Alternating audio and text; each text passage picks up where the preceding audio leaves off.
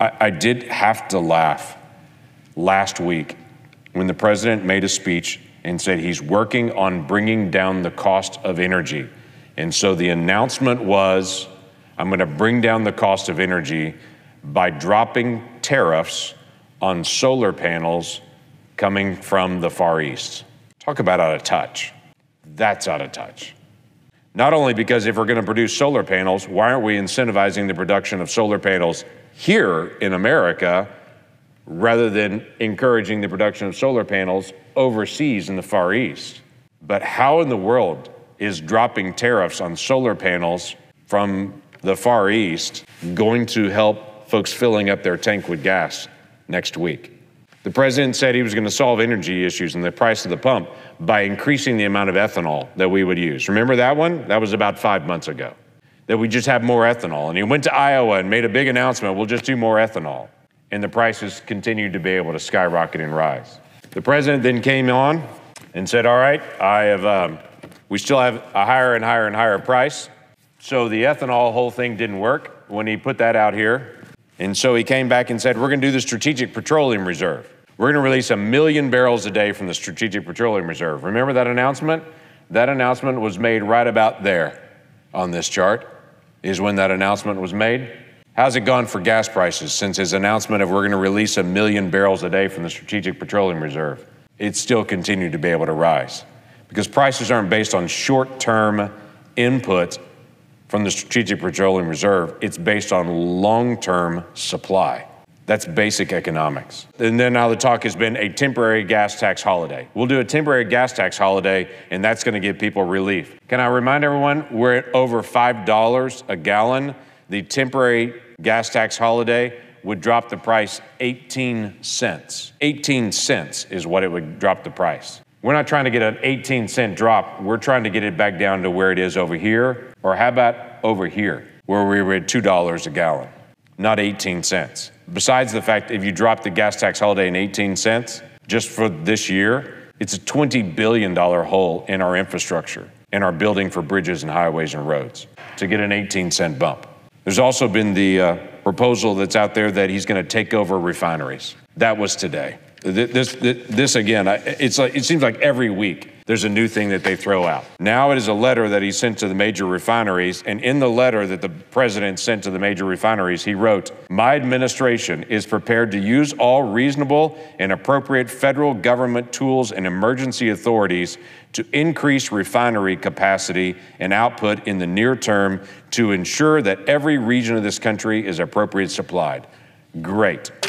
So the president is going to go into the refineries and he's going to take them over.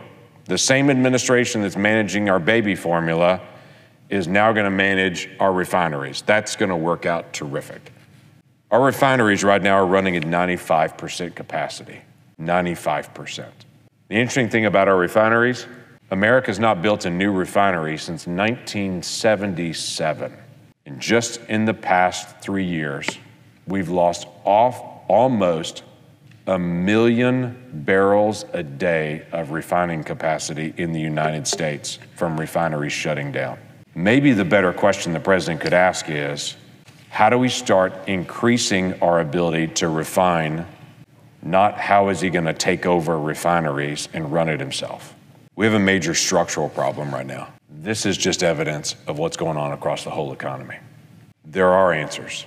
There are solutions, but they're not raising taxes and taking over refineries and putting oil out from the Strategic Petroleum Reserve or running to Saudi Arabia. That's not going to solve our energy problems. And I can assure us, we're not going to solve our 8.6 inflation rate until we solve the price of energy. Because the price of energy is baked into every single product that we buy. Everything. And if this doesn't get solved, this doesn't get better. Mr. President, do what needs to be done to increase supply in America so that the price will go down. We all believe, we all believe in the decades ahead, we're going to have more electric vehicles, we'll have more renewable energy. We all believe that. But 98% of the vehicles on the road right now run on oil and gas. And fulfilling your promise, your promise that you're going to get rid of fossil fuels right now by making it harder to do pipelines, harder to get capital, harder to do permitting, harder, uh, more complicated regulations, is causing this mess. 30 years from now, we may all be driving electric vehicles. Great. We don't today. And today, we need solutions for how we're going to move in the country. That involves increasing supply.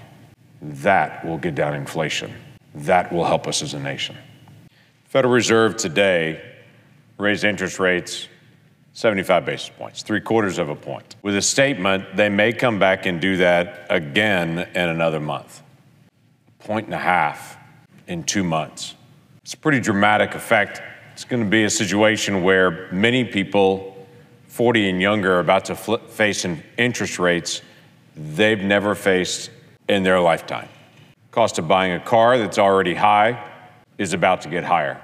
Cost of buying a home that's already really high is about to get much higher. Inflation is now at 8.6%. A lot of people are beginning to feel what that really means. This is not some strange anomaly. This is inflation over the last decade. It's bounced around about the same level, basically, for a decade until right there, March of 2021. And then it just skyrockets at that point. This is the reality that we're facing at this point. What does inflation really look like when you say it's 8.6%? Well, people know what that feels like. Cost of eggs has gone up 32% in the past year. 32% for eggs. The cost of milk is up 16%. The cost of butter, also 16%. The cost of coffee, 15%. The cost of baby formula, if you can find it, is up 13%.